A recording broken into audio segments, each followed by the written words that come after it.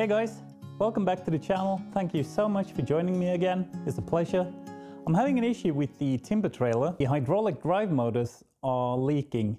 And at first I thought it was just the seals that were bad, but unfortunately it turned out to become a lot more expensive than that. So let me show you what we're dealing with here. This is a lid for the motor. As you can see, I've already changed this one. It's the exact same situation on the other side for some reason. Apparently this is a weak part. The entire seal face here has sheared off. The seal inside here, this is an old seal, goes in there, and then there's a dust ring from the outside. Around here there's a dust seal. So this is supposed to be one piece. It's broken off for some reason on both sides. It's, the exact same. I have another one, let me show you. So this is for the other side. This was for this side. So apparently this is a weak part. This is a Danfoss MV600 or MV400, something like that. This seems to me as cast iron. Well, definitely is cast iron. You can see it inside of here.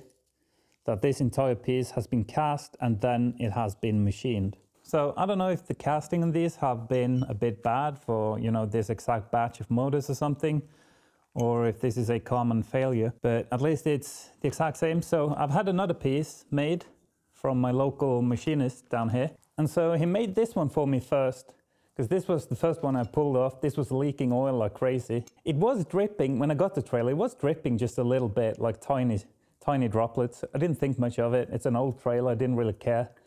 But then it started leaking more and more. And eventually I decided, well, I got to do something about this. So I pulled off the sprocket and I saw that this had come apart. I have a bunch of seals here. They do have seal kits for, for the motors, like complete kits. Uh, those are about 90 bucks a piece.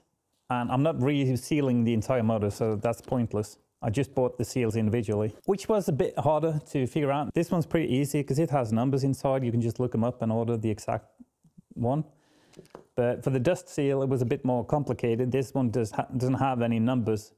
And so I had to go for measurements and uh, figure out what type of seal it was. Thankfully, I ordered five of each, so we have for the other side too. So anyway, he made another one of these, and we're going to be replacing this on the other side, just as I've done here off camera. I had to order a tool for that. Let me show you.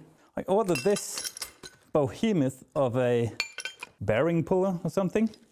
It's pretty big but it's hydraulic. It's very nice. The build quality on this is insanely good for the price that I paid for it. I'm very impressed. And so you basically just hook it up and you sort of jack on this thing and it pulls it right off. All right, that's enough of that. Unfortunately, I didn't buy new O-rings. I should have done that. So we're just gonna have to reuse the old ones because they're quite big. I don't have, I don't have this size in my kits. So we'll throw some seals in this mount it just like this one on the other side, of course. And then we'll throw some paint on there, put the sprockets back on, and this should be done. They always go with the spring towards the pressure and this face part away from pressure. So this goes in here like that.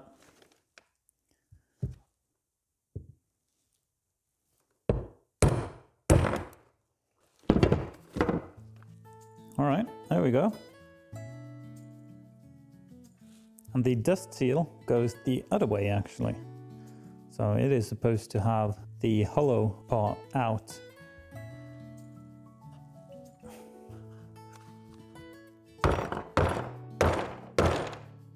All right, there you go.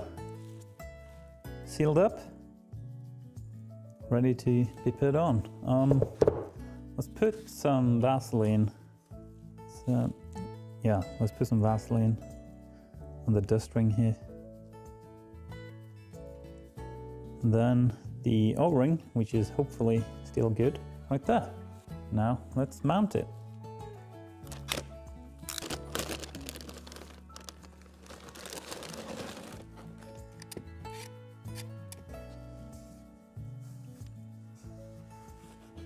So my first thought when I saw the failure point was that the bearing had gone and the shaft had started to wobble, right?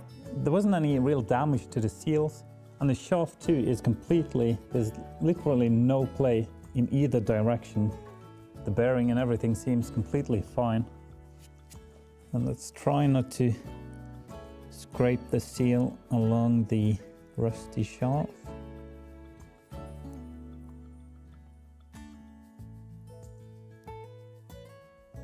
Right, there we go.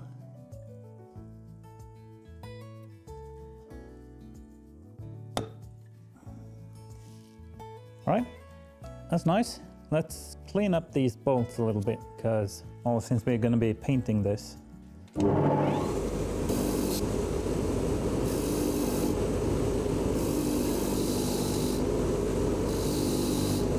There we go, all cleaned up.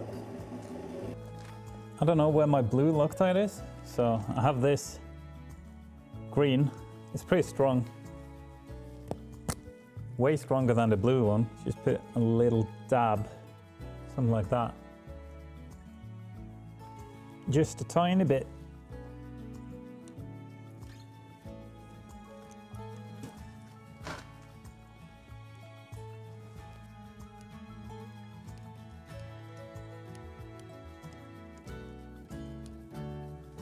There it is.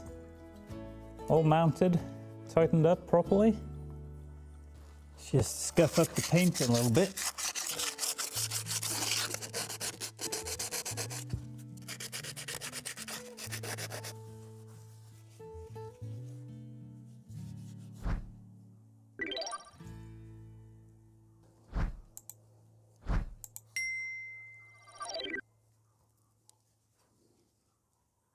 I was hoping I'd get by with just one coat, but I'm not. I'm gonna have to do another one. Let this get a little bit tacky and then I'll do another coat. But in the meantime, I can do the other side. Painting is really boring, so I'll get back to you once it's all done. All right, that's it. Two coats on each side. And I had quite a bit of paint left over, so I just used it up in various spots around the trailer.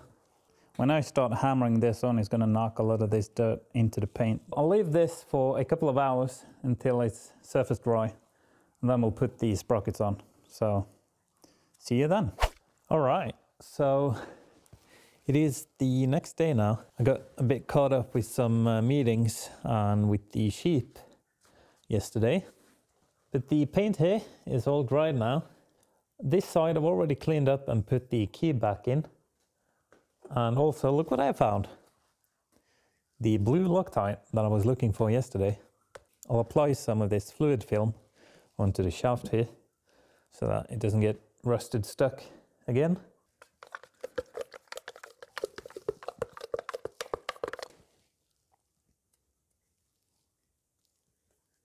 Should be fine, don't need too much of it.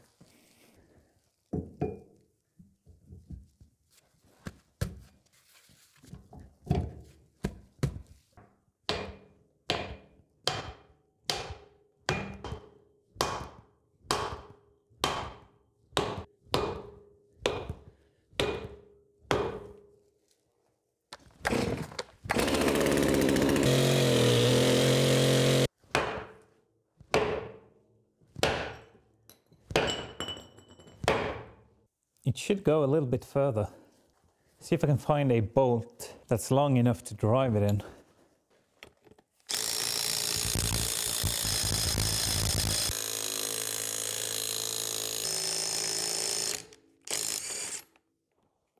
That worked pretty nicely. A decent amount of Loctite on this. Whoa, that's too much, but okay.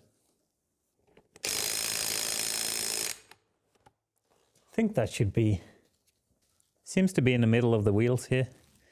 I think this sprocket should bottom out and then once it's sort of bottomed out, then it's in the middle, right, in the middle of the threads and wheel. But these threads are not actually for this timber trailer. You can see how they have these notches here. And they don't really align with the sprocket. So these, originally, these are straight straight across so that these can grip inside. Anyway, that's one side done.